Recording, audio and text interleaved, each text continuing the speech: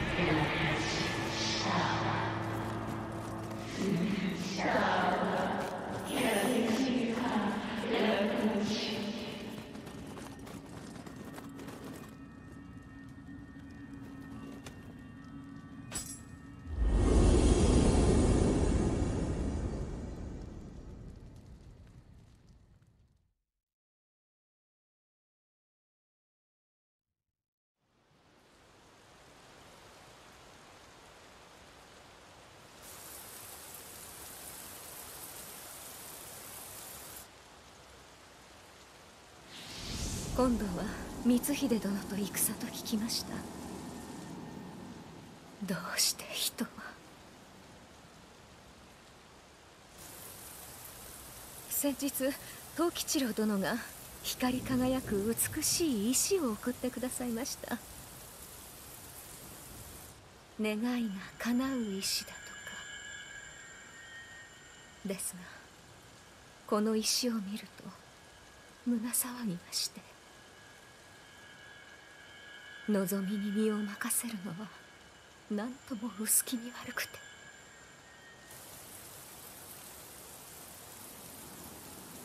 争いは終わらない。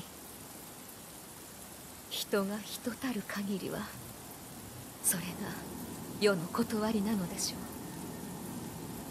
う。しかしあなたの身には人の業さえ超える力が秘められているはず。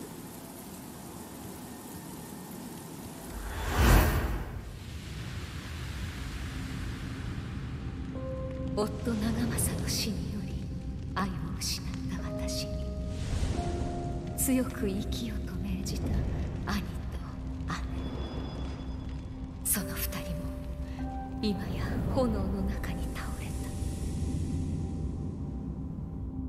た。これ以上の悲しみ破滅へと私を誘うやもしれません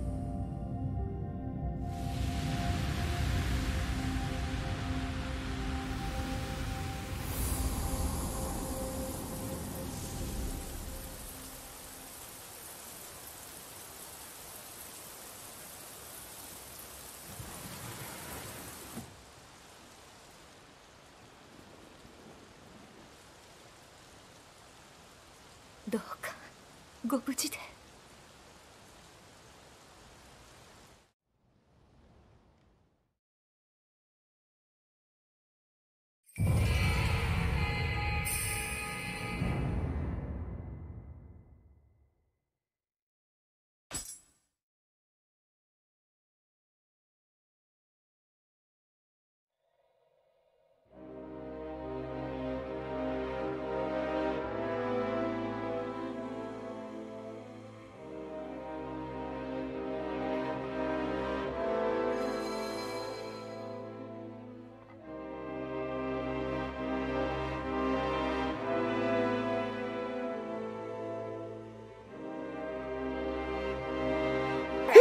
That's my best friend.